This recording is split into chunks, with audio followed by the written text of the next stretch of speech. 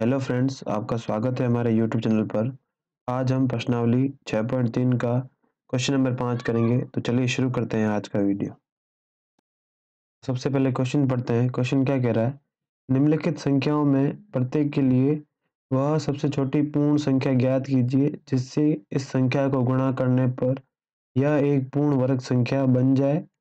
इस पूर्ण वर्ग संख्या का वर्गमूल भी ज्ञात कीजिए। प्रश्न क्या कह रहा है? जैसे आप प्रश्न बहुत बड़ा है। बेसिकली क्या कह रहा है प्रश्न? जिस संख्या पहले क्या दो सौ बावन है।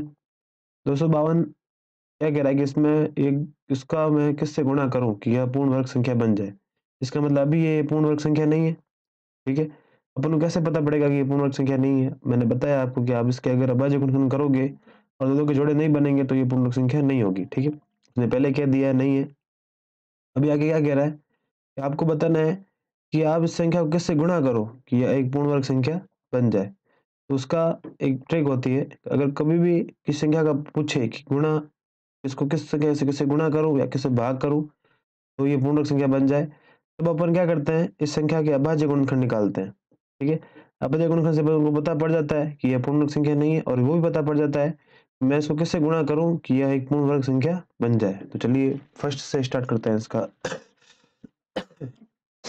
फ़र्स्ट क्या कह रहा है दो सौ बावन है। ठीक है, जैसा कि इसने कहा कि यह पूर्ण ये एक पूर्ण वर्ग नहीं है तो ये कह रहा है कि मुझे इसको पूर्ण वर्ग बनाना है, ठीक है, और गुणांक पूर्ण वर्ग बनाना है।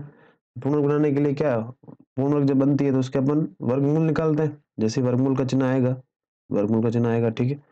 तो मैं क्या करूँगा, सबसे पहले दो सौ बावन के अभाज्य गुणनखंड निकालूँगा। दो सौ बावन के अभाज्य गुणनखंड निकाले अभाज्य गुणनखंड निकालना सब लोग आता है, मैंने सिखाया भी है। अभाज्य गुणनखंड का मतलब क्या होता है कि इसको गुणनखंड करना, इसको गुणा के टुकड़ों में बांटना और अभाज्य संख्या में, ठीक है? अभाज्य संख्या पता है कि आपका काम दो, तीन, पाँच, सात अभाज्य संख्या से काफ़ी काफ़ी हो जाएगा। अगर नहीं है तो आगे भी अपन सॉल्व करते रहेंगे। तो छोटी अभाज्य संख्या दो। दो का मैंने दो सौ बावन में भाग दिया। एक, ये चला गया दो का भाग, फिर दो का भाग, फिर एक सौ छब्बीस में दिया, तिरसठ बार। फिर मैंने इसको, देखो दो का भाग नहीं जाएगा, क्योंकि मैंने भाजता के नियम तुमको पढ़ाए हैं, ठीक है ना? फिर मैं दूँगा तीन का भाग। देखो, अब फिर तीन का भाग जा रहा है। सात पीछे रह गया, ठीक है? अब देखो, अब क्या करेंगे अपन?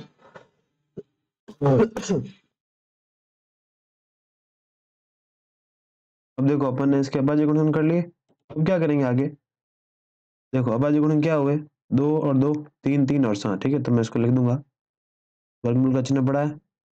ठीक है, दो सौ बावन का अभाज्य गुणनखंड, इसको दो सौ बावन के ऐसे टुकड़े हुए अभाज्य संख्या के रूप में कि वापस गुणा करने पर दो सौ बावन है। वो क्या है?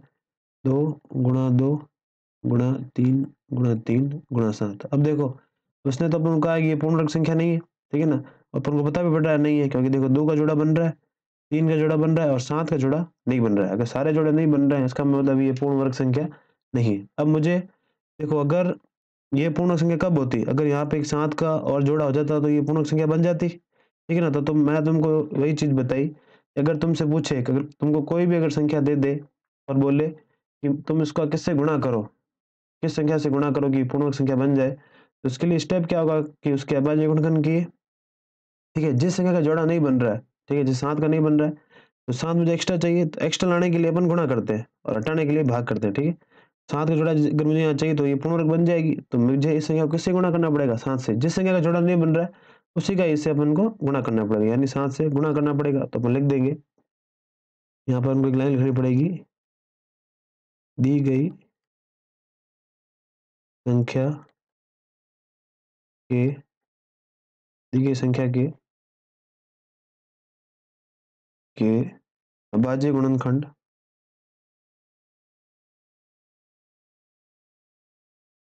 अभाज्य गुणनखंड अभाज्य गुणनखंड के अनुसार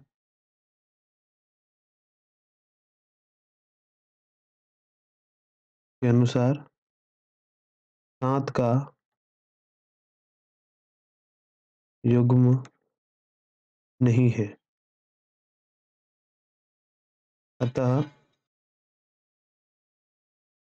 दो सौ बावन,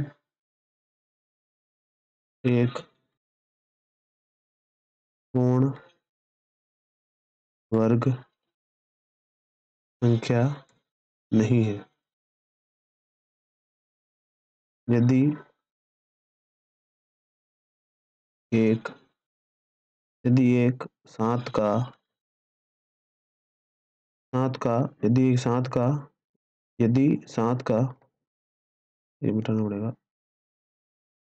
यदि सात का जोड़ा बनाते हैं, तब ये, तब संख्या पूर्ण वर्ग पूर्ण वर्ग बन जाएगी ठीक है तो बस वही अपन को अगर पता लगाने क्या करोगे। बाजी गुणनखंड की ठीक है जिसका युग्म नहीं बन रहा है अपन को उसका उसी से ही गुणा करना पड़ेगा ठीक है? तो गुणा कर लिया। आगे उसने क्या बोला है कि प्रश्न देखो इस पूर्ण संख्या का वर्गमूल भी ज्ञात कीजिए। तो सात कम था ठीक है? तो क्या होगा देखो जैसे ही मैं देखो क्या होगा? जैसे ही दो सौ बावन है। दो सौ बावन का मैं गुणा सात से करूँगा, ठीक है? तो इसके बाद गुणन क्या हो जाएँगे देखो।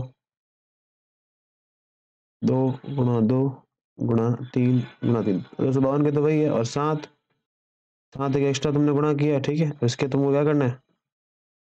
वर्गमूल निकालना है, जोड़े बने हुए ठीक है? अपन एक एक मानते हैं दो, एक जोड़ेगा तीन, फिर ये सात, ठीक है? तो दो गुणा तीन छः और बयालीस। तो देखो, क्या बना?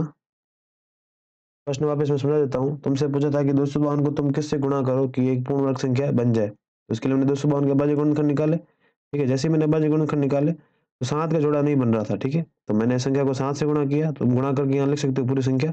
और फिर इसके अभाज्य गुणनखंड की तो सात का एक जोड़ा आ जाएगा। तुम वापस इसके अभाज्य गुणनखंड करोगे ना तो एक साथ आ जाएगा। और फिर इसका वर्गमूल निकालना आसान है। जो जोड़े बन रहे हैं, उसको बाहर निकालना दो का जोड़ा बना दो बार निकाला, तीन जोड़ा बना, तीन बार निकाला और सात का जोड़ा बना, सात बार निकल और आपस में गुणा कर दिया, बयालीस आ गया। तो इसका उत्तर क्या होगा? दी गई संख्या का वर्गमूल क्या है? बयालीस है। तो चलिए इसका नेक्स्ट करते हैं, एक सौ अस्सी। का सेकंड करते हैं, एक सौ अस्सी को मुझे बताना है कि अब इसको मैं किससे गुणा करूँ कि यह पूर्ण वर्ग संख्या बन जाए? तो अपन को पता है कि कोई संख्या पूर्ण वर्ग संख्या कब होती है? जब उसके अभाज्य गुणनखंड में पूरे संपूर्ण जोड़े बन जाए, ठीक है ना? तो मुझे क्या करना पड़ेगा सबसे पहले? चेक करना है। पहले तो इसने कहा कि पूर्ण संख्या नहीं, ये सचिन लगाते यानी वर्गमूल निकालना है, इसके टुकड़े करना है, इसके अभाज्य गुणनखंड निकालना है। तो अभाज्य गुणनखंड निकालना सबको आता है। एक सौ अस्सी। तो छोटी अभाज्य संख्या दो का भाग देंगे, ठीक है? एक सौ अस्सी में दो का भाग देंगे तो नब्बे आएगा। फिर दो का भाग देंगे, फिर आएगा पैंतालीस। भाजपा के नियम से अपन को पता पड़ रहा है, भाग जा रहा है कि नहीं, ठीक है? पैंतालीस में जाएगा नहीं, क्योंकि इकाई के स्थान पर ज़ीरो दो चार छः आठ है, नहीं? तो तीन का चेक करेंगे। पाँच चार नौ होता है, नौ में तीन का भाग जाता है तो इसमें भी तीन का भाग जाएगा। पैंतालीस में भाग दिया। पंद्रह बार, अभी भी जा रहा है। पाँच पाँच और एक, ठीक है? अब देखिए, एक सौ अस्सी की मैंने अभाज्य गुणनखंड किए। दो का जोड़ा बन गया, तीन का बन गया, पाँच का नहीं बना। अगर पाँच का बन गया होता तो ये एक सौ अस्सी पूर्ण वर्ग संख्या हो जाती, ठीक है? तो इसके बराबर मैं ऐसे लिख सकता हूँ। दो गुणा दो, गुणा तीन गुणा तीन, गुणा पाँच। अब देखो मुझे इसको पूर्ण वर्ग संख्या बनाने के लिए मुझे एक, पाँच और चाहिए, तभी पाँच जोड़ा बन जाएगा। और मुझे संख्या एक और बढ़ानी है ना? जब बढ़ानी होती है तो प्रश्न आएगा गुणा का, ठीक है? और पूछे कि किस किससे भाग करो? पाँच का भाग देंगे।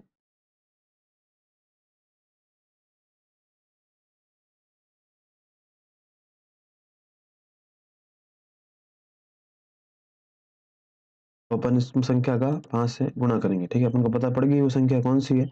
पाँच जुड़ा नहीं बन रहा है ना तो मुझे यहाँ पाँच पाँच मिलते ये संख्या एक पूर्ण वर्ग संख्या बन जाएगी तो अपन लिख देंगे। दी गई। दी गई। संख्या को पाँच से गुणा करने पर यह एक पूर्ण वर्ग संख्या होगी, ठीक है? बस उन, जैसे ही मैं इसको पाँच से गुणा करूँगा। संख्या को जैसे एक सौ अस्सी एक सौ अस्सी को जैसे मैं पाँच से गुणा करूँगा और फिर इसके गुणनखंड टुकड़े करूँगा। देखो, एक सौ अस्सी के तो टुकड़े मुझे पता ही है, किए हुए मेरे पास अब गुणनखंड किए हुए। दो गुणा दो, गुणा तीन गुणा तीन, गुणा पाँच ये की हुई है और पाँच एक और गुणा कर रहा हूँ मैं। अभी पाँच आएगा ना ये भी तो दो के जोड़े बन गए। तीन का जोड़ा बन गया और पाँच जोड़ा बन गया। जोड़े में से एक संख्या बाहर निकालते हैं अपन। तो दो का दो गुणा दो है तो इसमें से एक दो बार आएगा और गुणा का चिन्ह। इसको गुणा कर लिया अपन ने। है, गुणा करते हैं तो क्या आता है? देखो, दो गुणा तीन। छः छः गुणा पाँच। पाँच तीस। ठीक है? तो ये जो संख्या बनेगी, एक सौ अस्सी गुणा पाँच, इसका वर्गमूल क्या आएगा? तीस। आपको यहाँ लिखना है। बस इतना ही क्वेश्चन इसका नेक्स्ट करते हैं। एक हज़ार आठ। एक हज़ार आठ देखते हैं। ठीक है, अब मुझे पता करना है कि इसको मैं किससे गुणा करूँ कि पूर्ण वर्ग बन जाए? तो जब संख्या गुणा करने का पूछे और वो पूर्ण वर्ग का पूछे तो अपन इसका अभाज्य गुणनखंड निकालते हैं। साइड में मैं इसके अभाज्य गुणनखंड निकाल देता हूँ। सबसे पहले इकाई के स्थान पर ज़ीरो, दो, चार छः आठ आ रहा है तो दो का भाग देंगे। पाँच ज़ीरो चार आधा करना होगा इसका दो का भाग देने का मतलब अभी भी दो का भाग जा रहा है। अभी दो का भाग जा रहा है। एक, दो।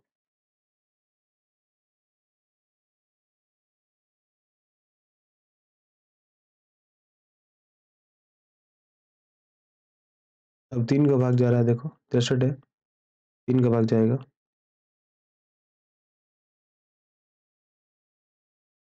दो, एक।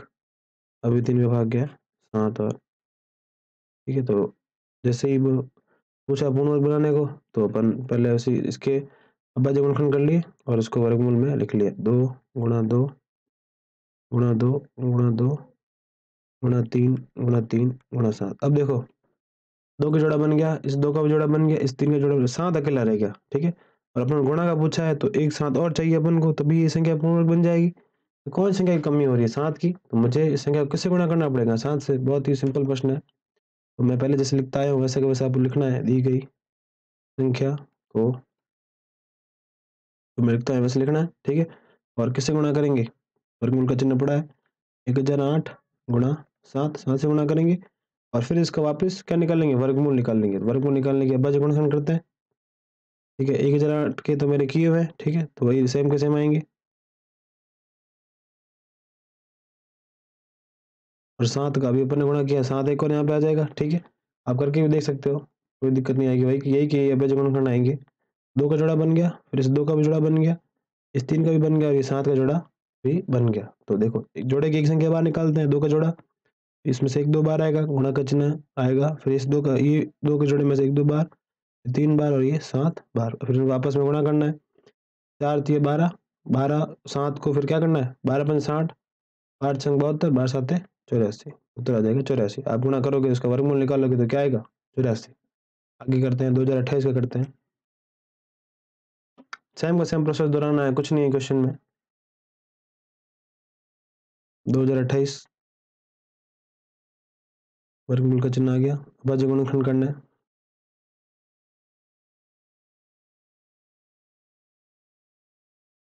दो का भाग जाएगा।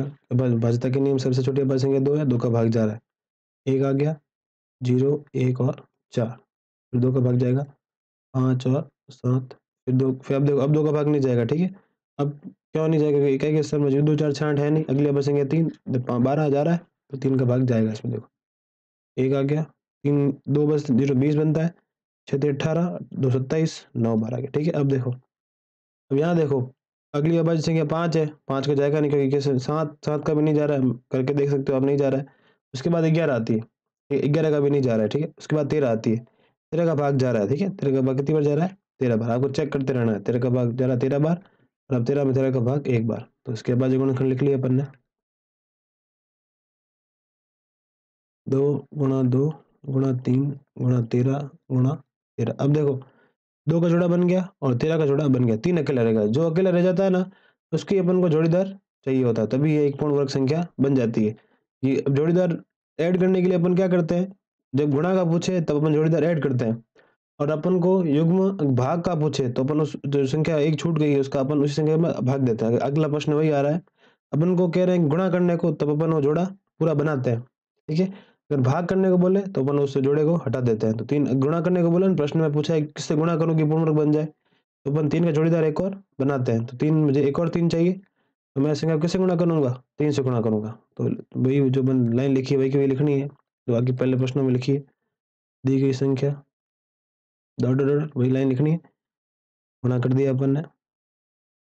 दो हज़ार अट्ठाईस गुणा तीन। फिर इसके बाद गुणनखंड करेंगे, इसके दो हज़ार अट्ठाईस के तो वही के वही रहेंगे। दो गुणा दो, गुणा तीन। अब एक और तीन और आ जाएगा, क्योंकि तीन से गुणा किया, तीन आ जाएगा। और तेरह गुणा, ये तो पड़ा ही रहेगा। ठीक है? जुड़े बन गए। जुड़ों को बाहर निकाल दिया।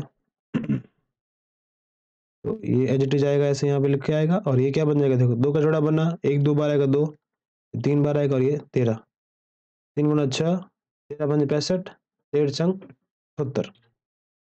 हो गया? सिंपल क्वेश्चन है। आगे बढ़ते हैं, पांचवा।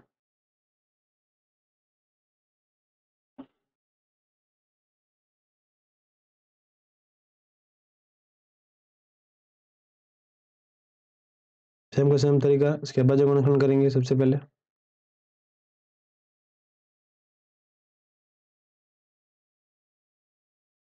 सबसे पहले दो का भाग, सात, एक और नौ, ठीक है? अब देखो यहाँ पे अपन ने भाग दे दिया, थोड़ा सा देखो गलती हो गई। दो, अठारह बच्चा नौ, ठीक है? अब आगे, अब देखो, अब दो का भाग नहीं जा रहा है, ठीक है? अब किसका भाग देंगे? तीन का चेक करेंगे, ठीक है? सात और दो, नौ नौ नौ, अठारह अठारह में तीन का भाग जाता है तो इस पूरी संख्या में तीन का भाग, तीन का भाग देते हैं। छः एक बचा बारह सात चौक बारह और तीन दिया नौ, दो सौ तैंतालीस आ गया, ठीक है? अब अभी भी तीन का भाग जा रहा है, सात, आठ तीन चौबीस, तीन एकम, तीन इक्यासी, अभी भी तीन का भाग जा रहा है जाएगा सत्ताईस बार, ठीक है? अभी अभी भी तीन का भाग जा रहा है, नौ बार, अभी भी तीन का भाग जा रहा है, तीन बार, तीन का भाग एक बार, ठीक है? इसके बाद गुणनखंड हो गए। वर्गमूल का चिन्ह पड़ा रहेगा। क्योंकि अपन को निकालना वर्गमूल ही है, ठीक है? इसका वर्गमूल क्यों नहीं निकल रहा क्योंकि इसके संपूर्ण जोड़े बने नहीं है। यही पूछा कि इसको किससे गुणा करें कि ये पूर्ण वर्ग बन जाए? तो पूर्ण वर्ग की संख्या कब होती है? जब इसका एक वर्गमूल निकल जाता है। दो गुणा, कितनी बार? एक, दो, तीन, चार, पाँच, छ। एक, दो, तीन, चार, पाँच और छः। अब जोड़े बनने, दो का जोड़ा तो बन नहीं रहा है। तीन का बना हुआ है इस तीन का बना इस तीन का बना। बच्चा कौन सा जोड़ा है। दो का जोड़ा बच्चा है। तो मुझे एक और दो चाहिए, तभी एक पूर्ण वर्ग संख्या बनेगी। तो मैं इसको किससे गुणा करूँगा? दो से। दी गई संख्या। वही की वही जो लाइन लिखी, वही की वही लाइन लिखनी है। तो लिख दी। अब वर्गमूल का चिन्ह। चार सौ अट्ठावन गुणा दो। दो से गुणा करना है। वही प्रश्न ने बोला है अपन को। और इसका वर्गमूल निकालना है। वर्गमूल निकालने के अपन बाजी गुणन करते हैं। चौदह सौ अठावन को तो अपन करते हैं, ठीक है एडिट करते हैं, लिखना है, और एक जोड़ा क्या, दो का एक्स्ट्रा है, ठीक है, दो का जोड़ा बनेगा, ठीक है तो क्या आएगा? दो गुणा दो गुणा तीन गुणा तीन गुणा तीन गुणा तीन गुणा तीन गुणा तीन, ठीक है अभी एजिटेज नीचे आएगा, और इसके वर्गमूल क्या आएगा? दो का जोड़ा बना हुआ है, तीन का बना हुआ है, इस तीन का भी बनाया और ये तीन का भी बना हुआ है, दो के जोड़े में से एक संख्या बार आएगी, दो, इसमें से एक तीन बार आएगा, इसमें से एक तीन, और इसमें से एक तीन तो वर्गमूल क्या आएगा? छः छः त्रि, तीन तीन, नौ, ठीक है? और नौ, और ये क्या क्या छः नौ छंग चौपन ठीक है? बस हो गया। आगे करते हैं, सत्रह सौ अड़सठ का और करते हैं। सत्रह सौ अड़सठ में क्या है, देखें? सात सौ अड़सठ सबसे पहले मुझे पता करना है कि इसको मैं किससे गुणा करूँ कि एक पूर्ण वर्ग संख्या बन जाए तो इसके सबसे पहले अभाज्य गुणनखंड निकालेंगे। प्रोसेस में पूरा बता चुका हूँ। दो का भाग, क्योंकि इकाई के स्थान पर जी दो चार छः आठ है, इसलिए। यहाँ सात है तो दो, तीन छः एक बचा, छः, सोलह, आठ, सोलह चार। आधा करना होता सीधा ही। अभी भी जा रहा है।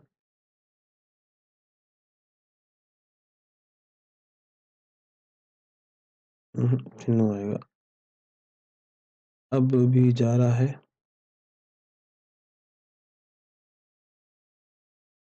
अभी भी जा रहा है। अभी भी जा रहा है। अब नहीं जा रहा। ये अभज गुणनखंड हो गया इसके। यहाँ से लिखते हैं इसको।